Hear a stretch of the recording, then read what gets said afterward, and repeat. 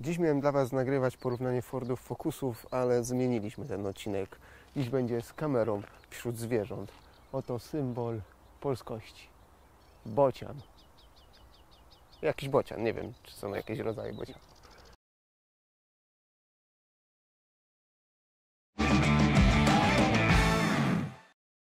Cześć.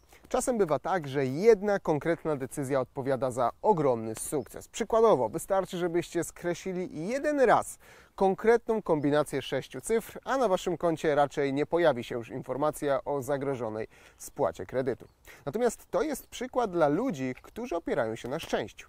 Inni wolą wyciągać wnioski. Tak było w przypadku modelu, który stoi za mną.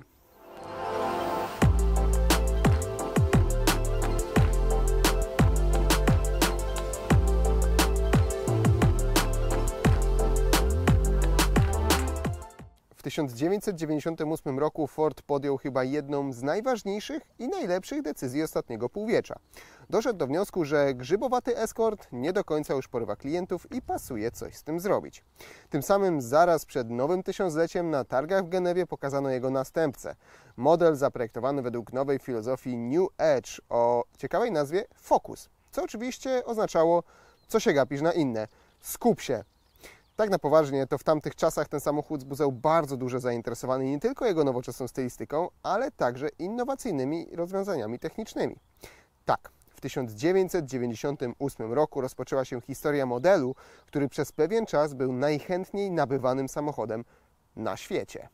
Po 24 latach na rynku mamy już czwartą generację Forda Focusa, która została wprowadzona w 2018 roku, więc przyszedł najwyższy czas na facelifting. Jak widzicie na planie mam tutaj najmłodszego kawalera.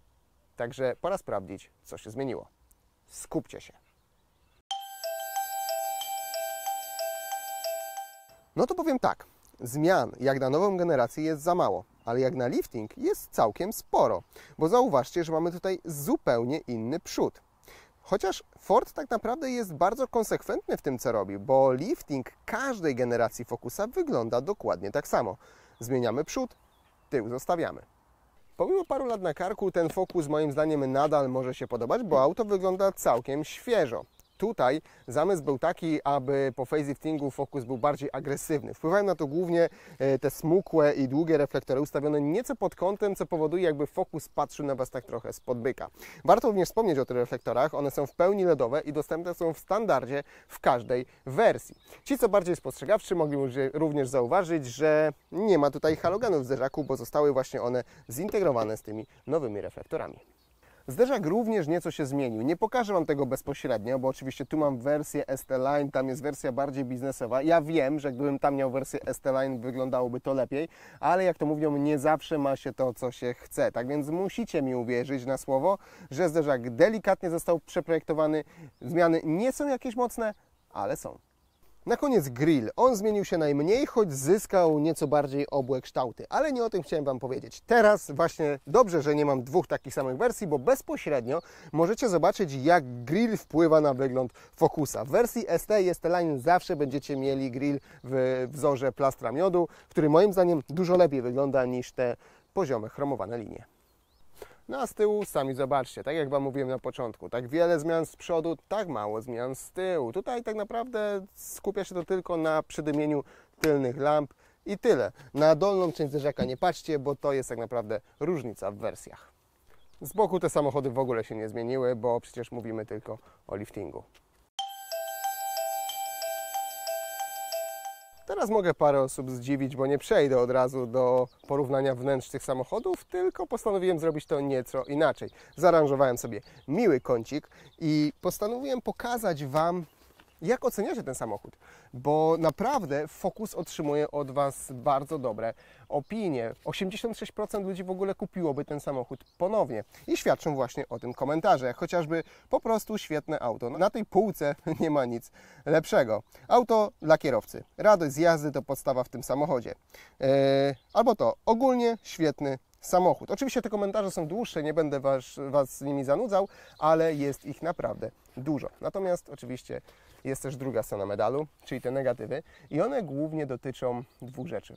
Jazdy i wnętrza. więc postanowiłem, że to wnętrze od razu przebadam pod kątem poprawy tych e, rzeczy, które Was wkurzają.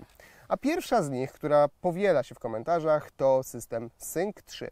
I tutaj komentarz. Sync 3 irytuje. Na przykład zapomina przełączyć schemat kolorów na ciemny, nawigacja zapomina powiadamiać o zjazdach z autostrad na długich trasach, tnie audio przy streamingu Bluetooth i tym podobne. Kolejny komentarz. Bugi i opóźnienia w systemie Sync 3. Oczywiście tych komentarzy jest więcej, ale nie będę ich wszystkich czytał, tylko po prostu sprawdzę, jak został ten system zmieniony, bo zmieniło się dużo.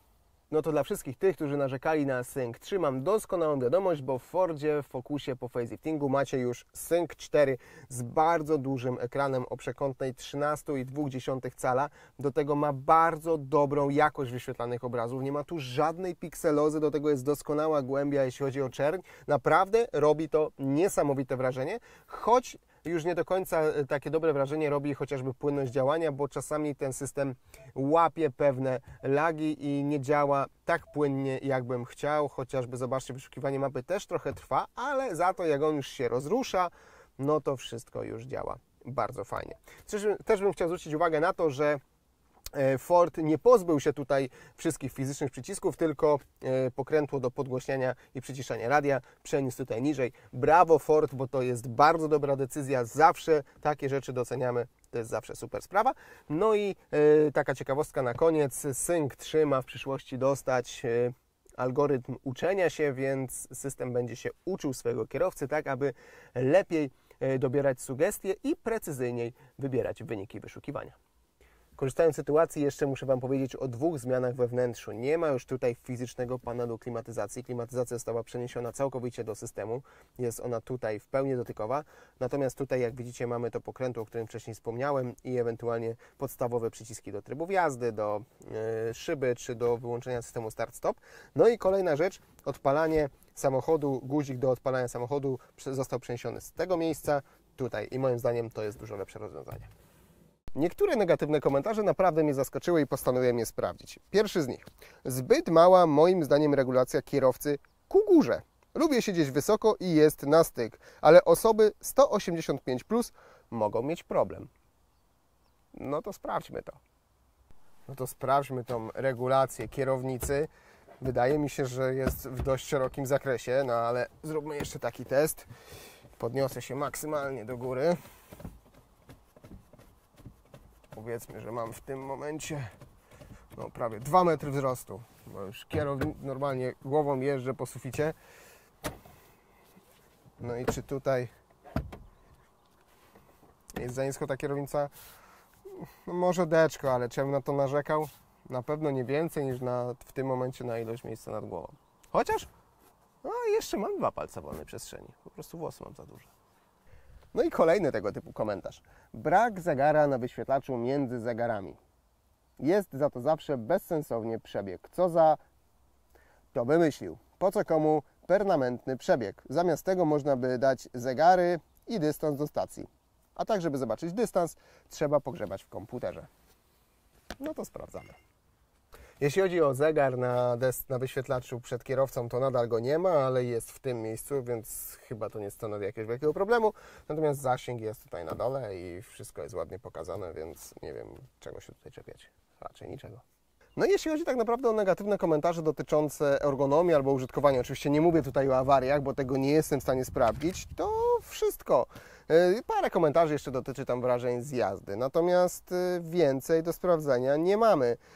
I wydaje mi się, Maciek, że mamy bardzo dobry czas, więc chyba należy nam się mała przerwa. Chodź, bo ja tego sam tutaj nie zjem, nie wypiję. Proszę, mam soczek jabłkowo-gruszkowy albo jabłkowo-marchewkowy. Czekolada mleczna z orzechami? Z orzechami? Z orzechami, bardzo proszę. No to przerwa, nie?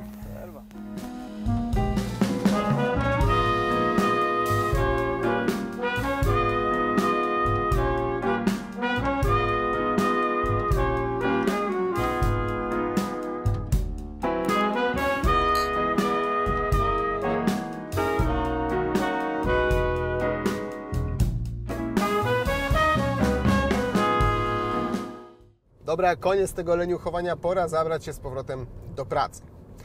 Najważniejszą rzeczą jest to, że lifting w samochodach to nie jest tylko to, co możecie zobaczyć, ale przede wszystkim technologie i technikalia. Bo nowy Focus zmienił się pod względem gamy silnikowej. Ja tutaj do testów mam silnik 1.0 EcoBoost, który znacie, trzycylindrówka. Notabene mam wrażenie, że w tej wersji po liftingu jest nieco lepiej e, wyciszony ten samochód.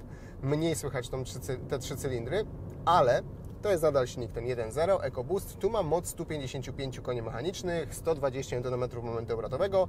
Całość katapultuje się do setki w zaledwie 9 sekund. No to nie jest wynik, którym chcecie się chwalić wśród znajomych, ale nie o to tutaj chodzi. Jeśli chodzi o spalanie, no właśnie, tu jest najważniejsza zmiana, bo e, wcześniej ten silnik 1.0 EcoBoost był dostępny e, z mocą 150 koni mechanicznych, teraz mam 155 koni, o 5 koni więcej. Wszystko dlatego, że mam tutaj układ miękkiej hybrydy, czyli 48V instancję elektryczną, która pomaga silnikowi w najgorszych momentach przy odpalaniu, przy dynamicznym ruszaniu e, ma powodować, że auto będzie nieco mniej palić. No i według producenta nowy Focus z tym silnikiem ma zadowolić się wynikiem 5,2 litra na 100 km w trybie mieszanym. Całkiem, całkiem nieźle i muszę Wam powiedzieć, że jest to wynik osiągalny. Ja tym samochodem wracałem z Warszawy e, z prędkością spokojnie, taką maksymalną, jaką mogłem, do, e, jaką mogłem jechać.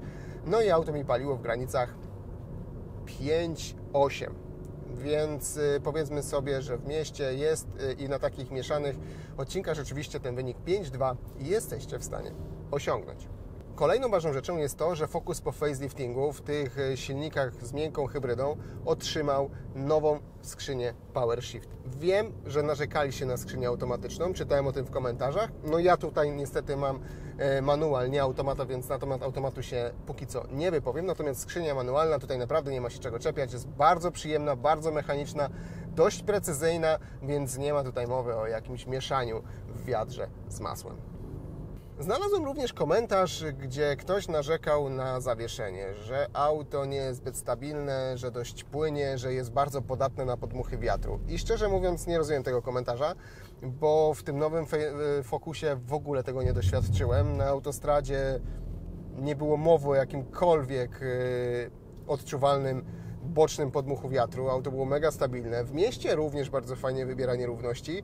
Także to chyba musiała być wada konkretnego egzemplarza, bo i jeden fokus, zarówno ten, jak i ten przed liftingiem, nie doświadczyłem czegoś takiego, aby rzeczywiście ten samochód był jakiś taki niestabilny i musiałbym narzekać na to zawieszenie. Wręcz przeciwnie, jest naprawdę nieźle. No i oczywiście poza takimi zmianami technicznymi jak silniki, to są również zmiany technologiczne. Oczywiście e, Focus dostał e, sporo nowych technologii. E, ciekawostką są dwie, moim zdaniem, o których warto wspomnieć, bo oczywiście ich jest dużo więcej, ale o tych dwóch chciałbym wspomnieć. Pierwsza to system Trailer Coverage, który tak naprawdę rozbudował system blind spot, czyli martwego pola, asystenta martwego pola. Rozbudował go w ten sposób, że możecie ustawić w systemie długość i szerokość ciągniętej przyczepy. I wtedy samochód będzie Wam ostrzegał o martwym polu, również biorąc pod uwagę właśnie wymiary tej przyczepy. Wydaje mi się, że to jest bardzo fajny system. Nie testowałem go, nie mam w ogóle haka w tym samochodzie, ale brzmi dość ciekawie. Drugi system nosi ciekawą nazwę Rear Occupant Alert. Polega on na tym, że samochód przypomina Wam o tym, abyście czasami nie zostawili dziecka w samochodzie ani zwierzęcia. Kiedy drzwi były otwarte, rusza, tylne drzwi były otwierane, pojechaliście jakąś trasę, auto będzie Wam przypominało o tym, abyście sprawdzili tylne fotele, czy czasami Wasza pociecha na nich nie została. Taka oto e, Fordowska opiekunka, tak bym to nazwał. Jeśli chodzi o podsumowanie jazdy nowym Focusem, to naprawdę mm, bardzo przyjemnie się tym samochodem jeździ i zarówno pod względem właśnie e, tej mocy, która tu jest wystarczająca, 155 koni, naprawdę daje sobie radę. E, pomimo tego, że moment obrotowy wydaje się być niewielki, to auto naprawdę jest dość elastyczne. Powyżej 2000 obrotów naprawdę każde wciśnięcie pedału gazu powoduje, że samochód się zbiera bez jakiejś większej redukcji, więc y, naprawdę nie będziecie musieli często e, mieszać e, tym lewarkiem i to wydaje mi się na bardzo duży plus. Kolejna rzecz to oczywiście są tutaj trzy tryby jazdy, natomiast możecie je wywołać guzikiem na desce rozdzielczej, ale nie możecie tym guzikiem tego zmieniać. Za każdym razem, kiedy będziecie włączać lub wyłączać ten przycisk, to będziecie wychodzić lub wchodzić do menu. E, Tu już jak wejdziecie do tego menu, musicie to zrobić na e, ekranie, ale macie trzy tryby: normal, eco i sportowy. Jeśli o mnie chodzi, to Focus zawsze coś w sobie miał. Był ładny, dobrze się prowadził i był całkiem nieźle wyceniony. No właśnie. I teraz musimy przejść do tych cen. Za podstawową odmianę Focusa po faceliftingu musicie zapłacić minimum 102 550 zł. Za najbogatszą cywilną wersję musicie wyłożyć już 129 600 zł. Natomiast najdroższa wersja ST z automatem to już wydatek rzędu 170 tysięcy złotych. I powiem tak, no ceny nie są niskie, ale raczej chyba wszyscy wiemy, jak aktualnie kształtuje się e, rynek samochodowy. Większym problemem jest to, że jeśli rzeczywiście chcielibyście mieć takiego Focusa po faceliftingu, to musicie się bardzo spieszyć i brać to, co dają na magazynach, bo niestety aktualnie tego zasłużonego modelu nawet nie da się zamówić. Ech, co za czasy. Dziękuję Wam bardzo za obejrzenie tego materiału. Dajcie znać, co sądzicie o tych samochodach. Jak Wam się podobało, to oczywiście zostawcie łapkę w górę, bo to dla nas bardzo ważne. No i do zobaczenia w kolejnych testach. Cześć!